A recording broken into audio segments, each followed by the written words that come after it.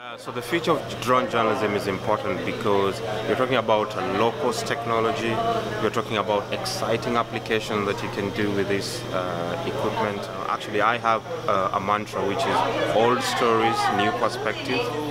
2012, and there was the African News Innovation Challenge, and it was basically a competition that was like asking African journalists to uh, propose digital solutions uh, to address challenges that African journalists are facing when they're uncovering stories. So I pitched uh, African Skycam, and the idea that I had then was based on how I looked at how the broadcast media in Kenya were covering floods.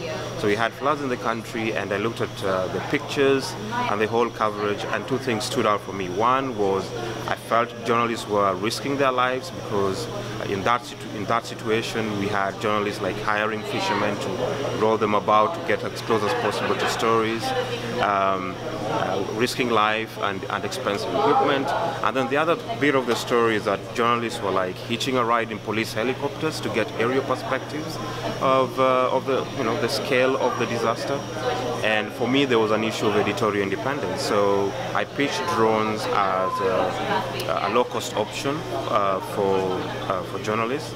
Um, unlike expensive, you know, pretty much like an alternative to, uh, to a helicopter, uh, and as well editorial independence. You know, we have a professional interest in using this equipment, and the idea was how, how can I reach out to the people in the space uh, who are really concerned about, uh, you know, what's happening with the, with the regulation, who want to put a case for the use of drone journalists. So that network exists in the States, and uh, I reached out to them, uh, and with support from the Knight Fellowship. You know, that's why we're here today.